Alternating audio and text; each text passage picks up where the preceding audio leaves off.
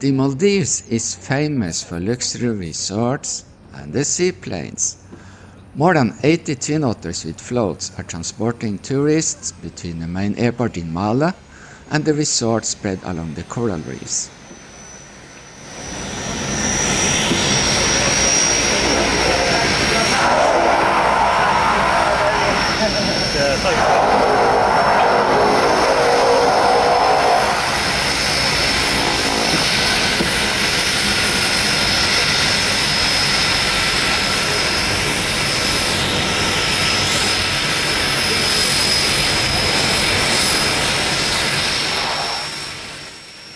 While a flight in a twin otter is one of the highlights for the tourists, the saltwater represents a challenge for those maintaining the aircraft. Most metals corrode and salt makes it much worse. So how do they protect the seaplanes from the salt water? Hi, my name is Magnar Norderhaug. I'm an airline captain and instructor. Today we will have a look at the maintenance of the seaplanes operated by Maldivian Seaplane one of three seaplane operators in the Maldives.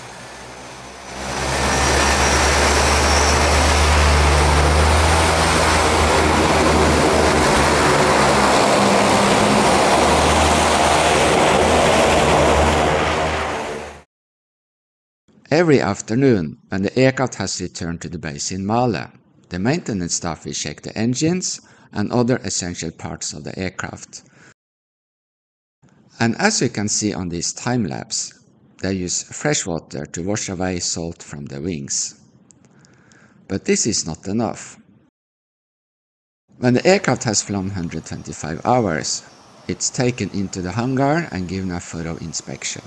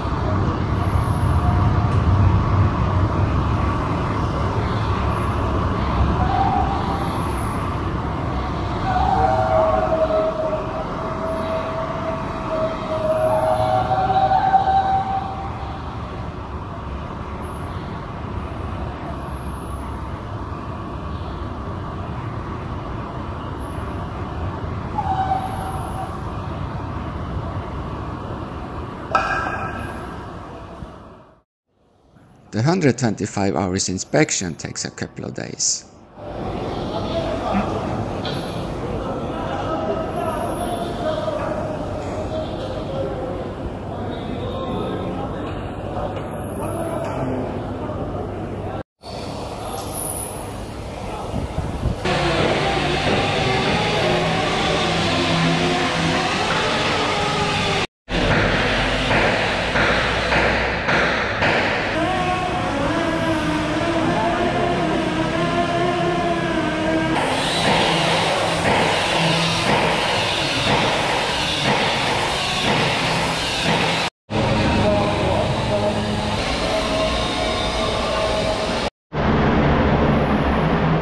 In the background is the fuselage of a twin otter undergoing heavy maintenance.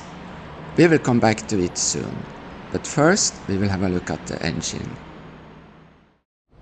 So we have the propeller hub here. Yes, it's quite small. How many horsepower? Uh, 670 Mm. electric. Yeah. Is this about uh, governor or? Uh, this is the overspeed governor, and this is where the constant speed governor would sit. Ah, okay. And uh, this component right here is the tacho tacho generator for the propeller RPM. That's the RPM. Yeah, it's indicated in uh, percentage, Yeah. just like in the ATR, right? Yes. Yeah, it's the same manufacturer, in fact. But the engines are quite different. And the engine is in the opposite direction. Yeah. The exhaust, so you have the fuel nozzles here. Fuel nostrils, yeah. Yeah. And this Ig- that's the igniter. Yeah, that's the igniter. Okay, igniter there. This is the deck. Yeah. So it's well protected. Because if you get um, bird in the air intake, it will not go into the engine. Maybe the feathers. Uh, yeah, and also, also they have make they have ensured that nothing in between these two firewalls is smaller than these meshes. You know, Ah. nothing that belongs to the engine is smaller than these meshes. It has to be something else. Yeah. It has to be a foreign object. Yeah. This Mm. fire lock. Yeah, that's the igniter. That's the igni- ignition exciter. Yeah, exciter, Yeah. what they call it. And this is the oil cooler Oh, the oil cooler will sit under here. over there, and that's the oil cooler power actually. Yeah. Okay. This is the starter generator. And those must be for oil or? Oil, yeah, oil and fuel. Yeah. So these are combined starter generator. Yeah, Oh, it has a cooling fan. Has a. Yeah, it's about the same size as the ATR. Yes, in fact. And then you must have some fuel control. The FCU is removed. This is the fuel, engine-driven fuel pump, and the FCU will be installed on on the pump, Okay. which is coupled. Yeah. So is this oil filter? Uh, that's the that's the fuel fuel filter. fuel filter. Yeah. Mm. And, oops. These are the linkages. And you measure the oil level here. Uh, that's the that's, that's where the oil pressure transmitter. Is Ah, okay. And here's another filter. Yeah, that's the filter, main Mm. filter, and this is the P3 air filter. And the oil is oh here. Okay, we go back on that side. So that's on the top. Yeah.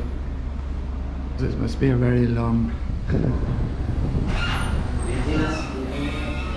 Ah, there it is. it is. Oil tank.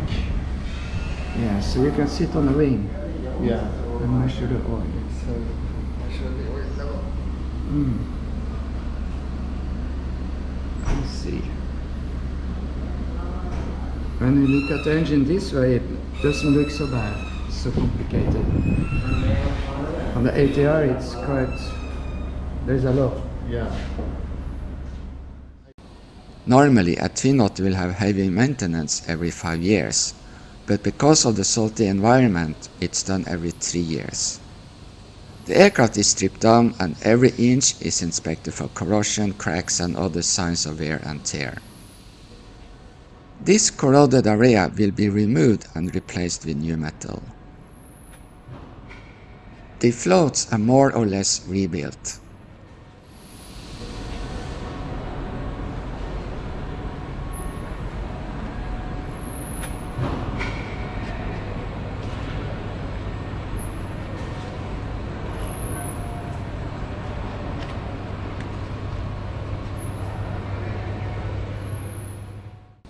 This is one of the wings.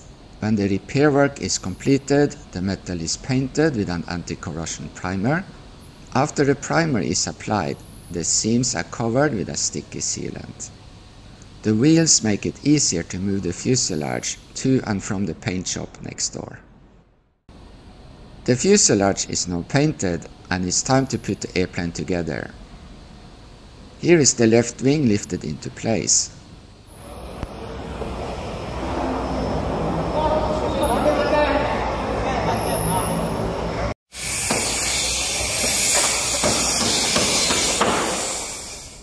And here the engines have been installed. The floats are now ready, and a few days later, the entire airplane is completed. The dolphin on the tail is painted with the help of stencils. And now they have to install all the small parts.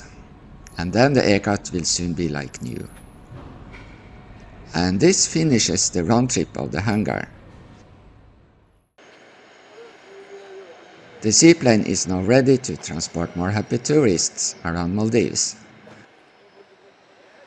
A big thank goes to the engineers who guided me around and showed me how they keep the seaplanes flying. Thank you for watching, have a wonderful day and happy landing!